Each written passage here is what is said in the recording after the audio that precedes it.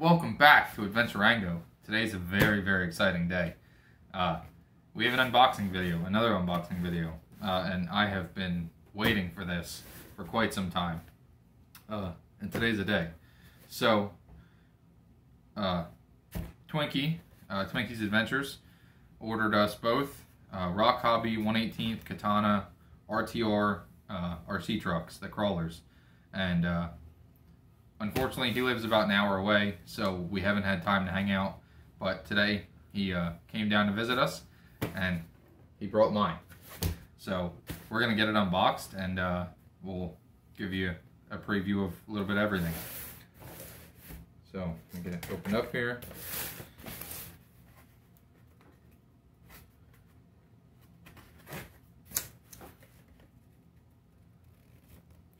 This knife is garbage.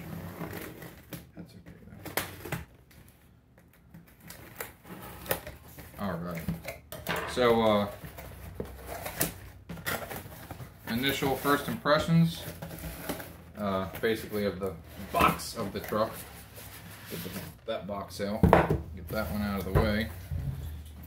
So, uh, give you a view of each part of the box. Uh, and then that's the styrofoam packaging the truck actually comes in inside. Uh, a little bit of everything on here, and uh, I really, I really just like the the presentation on the on the box here. It's nice. Um, this is just a sleeve the styrofoam sits in.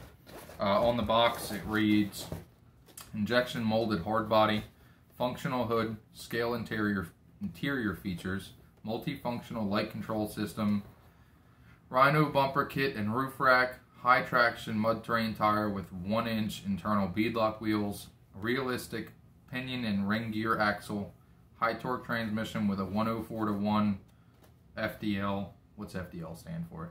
Final drive something. Final drive something. Water resistant electronics with a 2.4 gigahertz radio, uh, high torque oversized 55 tooth brush motor, or 55 turn brush motor. I think it's 55 turn.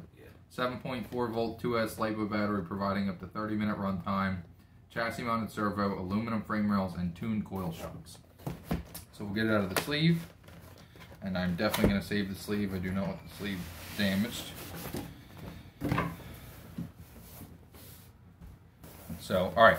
So here's the uh, actual packaging it comes in. Uh, it says Rochobby Katana. Uh, and then some other stuff on it, the numbers or whatever. But just open straight up. Okay. It's tight, yeah. It is tight. Okay. It is tight.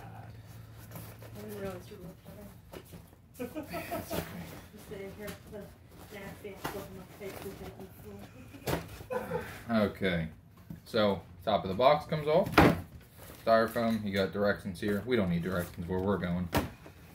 Uh, so is the truck tight to get out of here? A A little bit. little bit.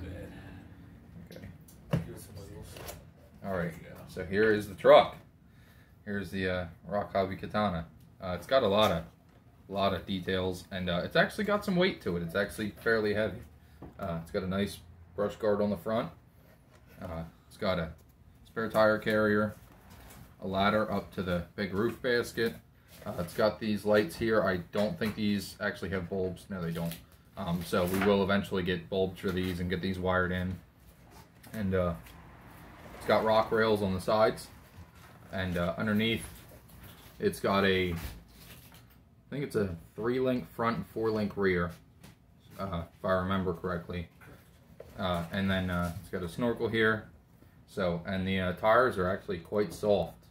So I definitely feel like it's gonna it's gonna work great for a little bit of crawling.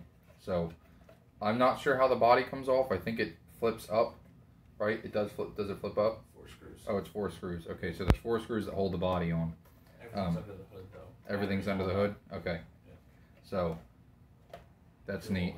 that. Okay, we'll definitely we'll get that off uh, in another video a little bit later. But uh, here's the remote, uh, and the remote comes in two pieces, and it looks like it just slides together like so.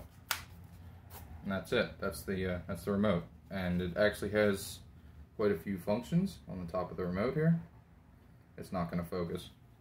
That's my luck. But anyway, uh, also in the box, you get a tool for the wheels and whatnot, and whatever other stuff. Uh, they also give you. I'm never gonna get that out of there. I had to use pliers to get mine out too. I couldn't fit my fingers in there. Yeah, my fingers are way too fat to get in there. One second, guys. Uh, oh. I might be able to get it out. It's in there tight. Oh my goodness. Okay. Uh, and then here is the charger for the batteries. And they also give you a very, very small screwdriver that I'm definitely going to lose. so, Because you're Uh, definitely not going to use it. yeah, and here's the molding of the box uh, that everything fits in nice and tight. And it's nice because actually, when you're not using it, uh, as long as the truck is clean, you can stuff the truck back in the box and put the styrofoam top back on and and transport it safely, not have to worry about anything getting broken. So uh, we're gonna get the batteries charged up and uh, do a little bit of backyard crawling, and uh, yeah. So that's the unboxing. Um, I'm impressed by the weight. It's actually quite heavy for as small of a truck as it is. I, I can't believe it weighs this much. Um, it's it feels stout.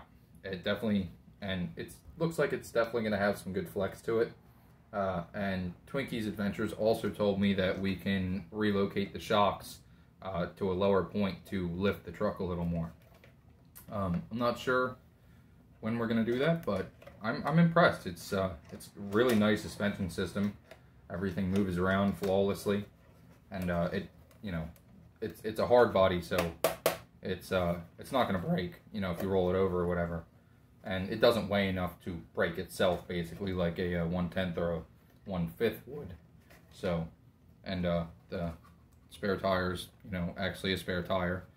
It's actually unboltable and put it on and go. So that's that's super neat. Uh, I'm not sure if you can see the interior here, but it's actually quite detailed. Uh, looks like it has a uh, stick shift and a lot of trunk space. A lot, a lot of trunk space. Um, I don't know if there's like tape or something along the inside of the trunk here, but uh, yeah, it's it's detailed. It's highly detailed. I'm I'm quite impressed with it, and I know the headlights do work uh, from factory, and whenever you turn, uh, the uh, turn signals work. So yeah, we're gonna get the batteries charged up, and then we'll get you guys a uh, little bit of a backyard crawling video. It actually has a California license plate on it, so we'll have to see if we can find a uh, a sticker to replace that with a Pennsylvania plate. But uh, it's got tow hooks on the rear bumper here, and uh, the bumpers are plastic, but I feel like they'll hold up for the most part. I don't think we'll end up breaking those, but uh, eventually we will get aluminum bumpers or whatever they make metal for scale stuff like this. So, and uh, the brush guard I'm probably going to keep on here forever because I really like this brush guard.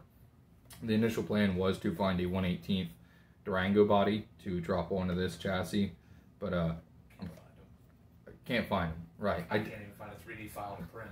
I, I did find I did find one, um, I, and a gentleman gave me a link for eBay uh, to purchase one.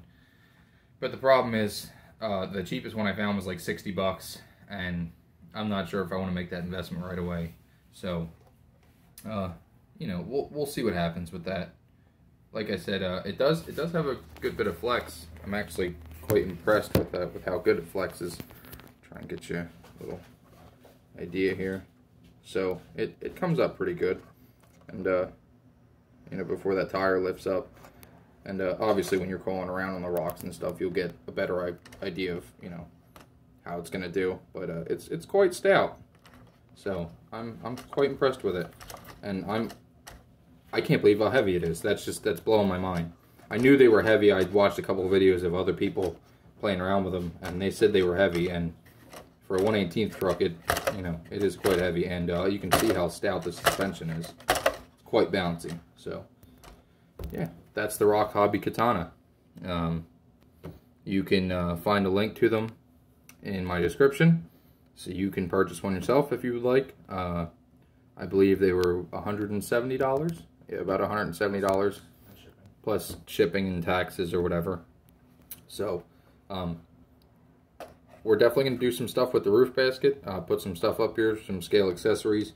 There's a uh, hobby shop right down the road. So, um, I think they're actually only open on weekends. So, I'll definitely have to go down there and see if they have anything.